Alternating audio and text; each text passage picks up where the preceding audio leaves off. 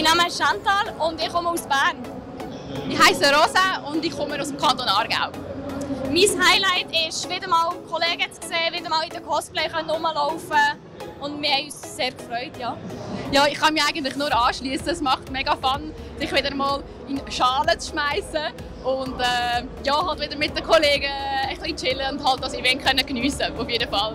Skyrim, also die Elder Scrolls Reihen, Elder Scrolls Online. Ja.